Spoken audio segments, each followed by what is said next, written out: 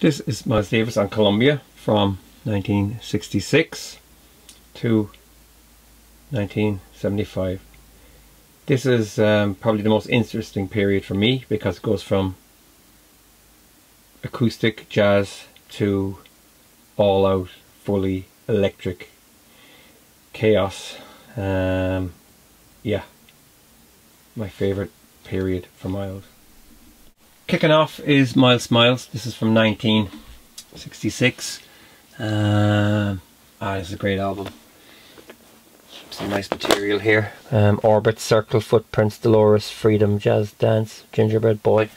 Um, the whole band contribute to songs on this.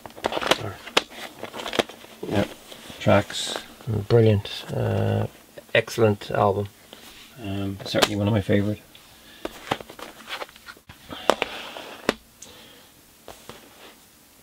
Sorcerer, um, again another good one. Um, maybe a little bit um, of a back step compared to Miles Smiles, but um, some good stuff here as well. Prince of Darkness, Masqualero.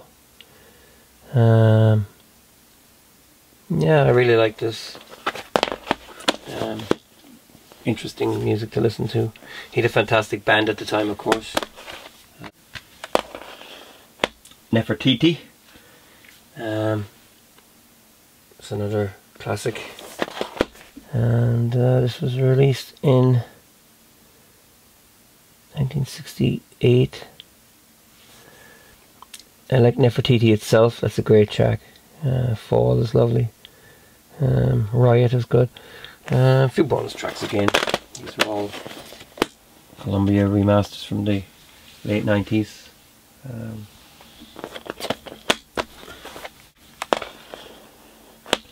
Miles in the Sky. This is where it starts to change uh, because, um, and I like this album. Um, it just it's kind of addictive. The um, opening track stuff is kind of a funky bossa nova. Um, it's a long track as well. When I first heard it back in God 1999, I loved it instantly. Paraphernalia, uh, paraphernalia is good. Black comedy, Country Son. Um, there's a, a, Rhodes organ on this, on stuff. Um, George Benson plays guitar on one track as well. So uh, certainly, uh, or there's a change in the air on this one. So this is a transitional album. Um, then again, I guess you could say the same about uh, the Kilimanjaro, uh, because there's also um, electric instruments on this. Um, Rhodes, I think. Um, I really like this one as well. Frelon Brun.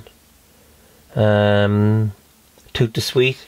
That's incredible drum track with uh, from Tony Williams. Um, Petits Machins, little stuff. Phil's Kilimanjaro. Mademoiselle Mabry. Um, yeah, it's it's a good one. Um, this was um, released in 1969. Yeah, I really like this one. It's a cracker. Water Babies, uh, again, probably from the, it is from the uh, same era, but it wasn't released until I think um, 1976. Um, it's got Water Babies on the Capricorn, Sweet Pea, Two Faced, Jewel, Mr. Anthony Tillmon Williams process. Splash. Um, this was from the Filles de Kilimanjaro sessions and then going into the Silent Way sessions. Um, some interesting stuff on here. Uh, like I said, it's kind of a compilation that was released after Miles stopped recording in 1975. And and now there's a total change. Uh, in a silent way, this is um, no longer jazz moody electric music with a lot of repeats and ostinatos and uh, loops. Teo Macero editing away like a madman. Uh, you've got Shish Peaceful um, in a silent way. Uh, the band has changed here dramatically. Um, Wayne Shorter still on the sax, but he's playing soprano. Corea, Herbie Hancock are playing electric pianos. Uh, Joe Zawinul is playing the organ. Um, went on to perform um, Weather Report. John McLaughlin, electric guitar. Dave Holland, bass. Tony Williams, drums. Uh, this is classed as um, an avant-garde masterpiece from the time. It's certainly very, very different to anything he's ever done. The, the trumpet still remains the same, though. You know, it's still Miles. You know, um, you take away the music, and Miles could be, you know, it's a classic sound. Next up is another big one. Uh, this is um, Brew. This is probably one of the most controversial and one of the most famous um, crossover jazz rock funk fusion albums of all time. This actually created a whole genre and created a whole flow of new bands. Weather Report certainly came out of this. Um, yeah, it's heavy going the first time you ever hear it. There's a lot of guest musicians on this. Um, Wayne Shorter, Bennie Maupin, Joe Zawinul, Larry Young, Corea, John McLaughlin, Dave Holland, Harvey Brooks, Lenny White, Jack DeJohnette, um, great drummer who played with Keith Jarrett for an awful long time, and um, Don Alias on the drums and congas, uh, Juma Santos, shaker congas. This is a groundbreaker, and um, everybody needs to hear this album. It's double, it's sprawling and big, and uh, there's not much to say about it uh, except that you have to hear it. And that's really. Um, live at the Fillmore East, March 1970. It's about that time. Uh, this is released in 2001, but um, it's a concert from 1970. Um, the electric band is quite aggressive and harsh on this. Um, we're down to a core of um, Wayne Shorter, Chick Corea, Dave Holland, Jack DeJohnette, Airto Moreira. Direction, Spanish key, directions, Miles runs the voodoo down, bitches brew. It's about that time, Willie Nelson. We're kind of touching into Jack Johnson now here as well. Um, stuff is very harsh, very diffuse, stuff like that. Um, not for everybody. And here we have one of my favourite Miles Davis albums of all time. I just never get sick of this. Um, a tribute to Jack Johnson. Um, this was released in 1970. Um, it, it, was a soundtrack um, for a documentary about um, Jack Johnson, the famous boxer from um, the turn of the last century. He was a bit like Miles in a way. He was very powerful, very influential black man. liked cars, liked white women very similar to Miles. There's only two pieces on this, right off in Yesternow. Um, it's fantastic. I absolutely love it. I could never ever get sick of this. Um, I even bought the um, complete. Um, Steve Grossman on soprano, sax, Herbie Hancock organ, John McLaughlin guitar, Michael Henderson electric bass, Billy Cobham drums. Um, Teo Macero um, edited the sessions together and uh, came up with a beauty. Um, it's a good 50 minutes long, great for driving, I love it. Um, I love this picture as well. That, that was on the cover of some of the albums in different territories. Yeah, this is a fantastic album and you must hear it. Next up is um, Black Beauty, Miles at the Fillmore West. This was released in 1977 in Japan, I think. Um, but um, you've got the um, classic early 70s fusion lineup. Um, again, on this one you have um, stuff from Bitches Brew. And um, yeah, like I said, it's not for everybody, and can be heavy going if you're not into that kind of stuff. this is Miles at the Fillmore. This is Fillmore West. Um, another rock fusion blaster. Um, yeah. Keith Jarrett appears on this um, playing organ. This is far out stuff.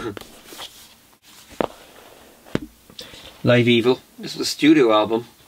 Um, it contains some live tracks from Cellar Door and some of the Jack Johnson um, sessions. There's some good stuff on this. Um, yeah.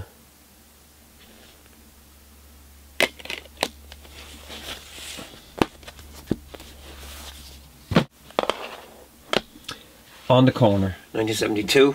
This is a masterpiece. Uh, I just love it. It's jangly, funky. It it, it precedes hip hop and breakbeat. Um, oh, what an album!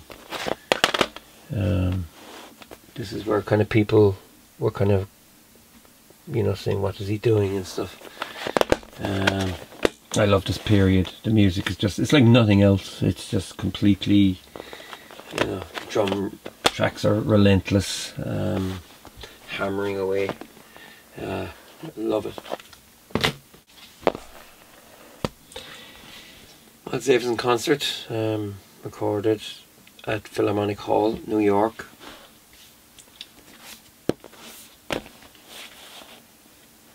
Another um,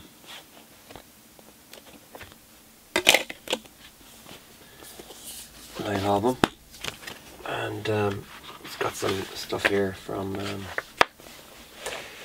on the corner. Jack Johnson, Ife, right off the team. So some good stuff here. Um, the band again is starting to change at this stage. Lots of percussion. Big Fun. This was released in 1974 um, contains um, stuff from Bitches Brew sessions and On the Corner sessions um, studio. Lots of edits and stuff like that by Teo Macero to bring out a double album of greatness. Um, some good stuff on this. Some of the tracks are very long 27 28 minutes. Uh, yeah. Get up with it. Uh, this is another one. Um, a big double.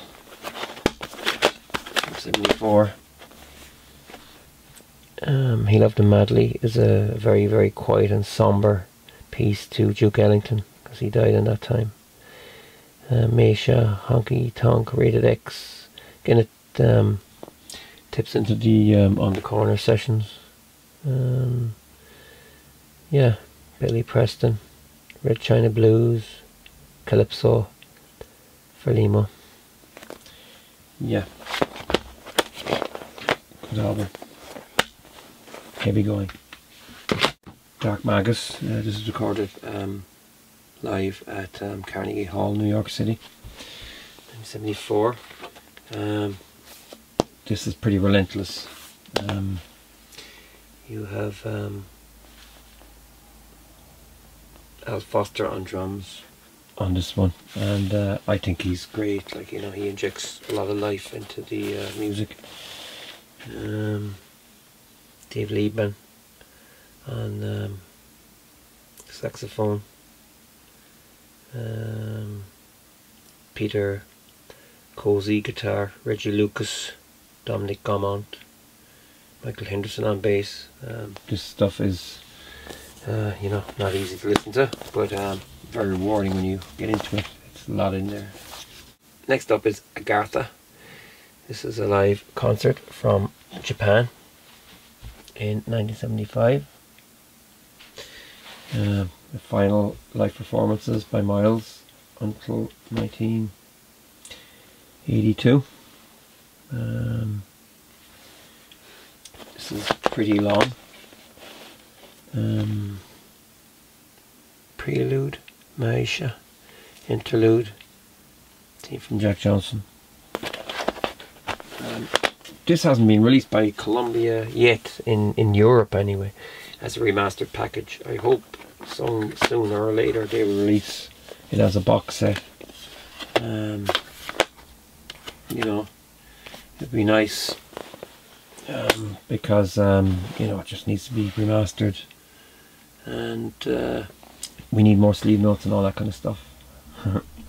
and finally, Pangaea. This is uh, the evening concert from Osaka, February 1st, 1975. Um, again, a sprawling beast. Um, this was released in Japan only at the time, I think. Zimbabwe. It's 41 minutes, and disc 2 has Gondawa. Gonwanda. I can't even pronounce it. 46.50. Um, yeah, it would be nice to see this released um, as a package, you know, four disc set. Maybe outtakes, maybe some video footage if there is any. Um, it would be nice, uh, you know, to update the catalogue a little bit. Yeah, so that's it. Uh, that's Miles Davis on Columbia um, from 1966 to 1975. I hope you enjoyed this video. If you did, please feel free to subscribe and uh, take care.